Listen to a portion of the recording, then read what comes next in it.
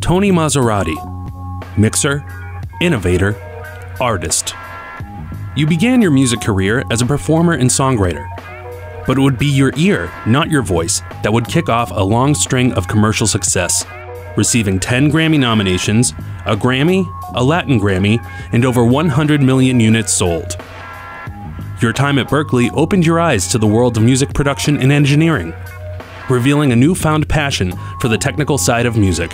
There are three ingredients that make a world class producer and engineer in our business, and those would be an absolute technical mastery of your tools, of course. Secondly, a musical compass that allows you to achieve the artist's vision. And lastly, just being a good person.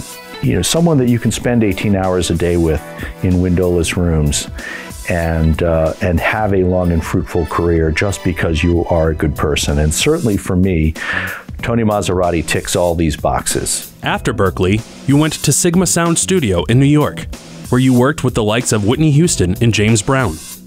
While most of your contemporaries focused on the recording side of engineering, you gravitated towards the mix. Where others were dismissive, you embraced the rule-breaking techniques coming out of hip hop and R&B. You established a relationship with Puff Daddy and Bad Boy Records, where you helped pioneer the East Coast sound, mixing for Mary J. Blige, Faith Evans, Notorious B.I.G., Busta Rhymes, K-Ci and JoJo, and Mariah Carey, amongst others. We're so happy to uh, see Tony recognized in this way and um, uh, receive this award from Berklee. He's been a mentor to the next generation. Uh, obviously, in addition to blazing the trail, really defining a sound in the industry, being at the intersection of technology and music, Tony really looms large in, uh, in the industry and certainly as a, as a Berklee alum. Today, you are celebrated for your resiliency, your client relationships, and your painterly approach towards mixing, starting with broad strokes and finishing with the fine details.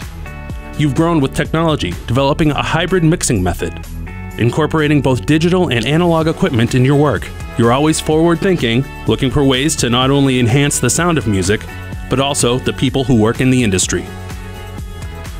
Tony Maserati, for the mastery and skill you bring to your craft, for pushing new music beyond the limits of capability, and for always seeking to raise the value of music, we recognize your achievement.